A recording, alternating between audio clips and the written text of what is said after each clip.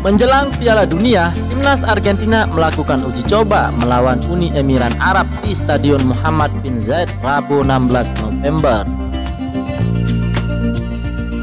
Argentina unggul pada menit ke-17 lewat tendangan Alvarez memanfaatkan umpan pendek Lionel Messi dari sisi kanan.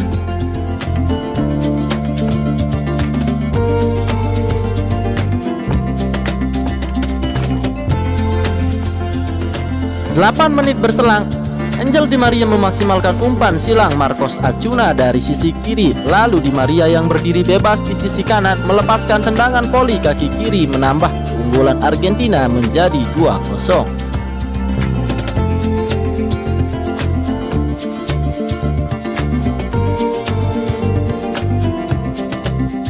Dan menit ke-36, Di Maria mencetak gol keduanya setelah mendapatkan umpan dari Alex Max Alester. Di Maria berakselerasi dengan melewati satu pemain Uni Emirat Arab sebelum menaklukkan kiper Eisa.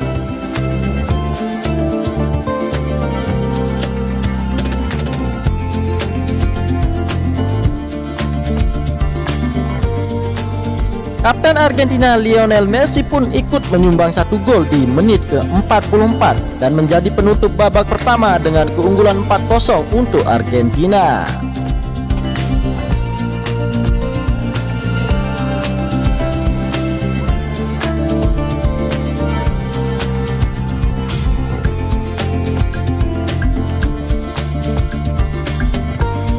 Pemain pengganti Johan Kui Korea membuat LA Abileste jauh meninggalkan Uni Emirat Arab dengan keunggulan 5-0 pada menit ke-60.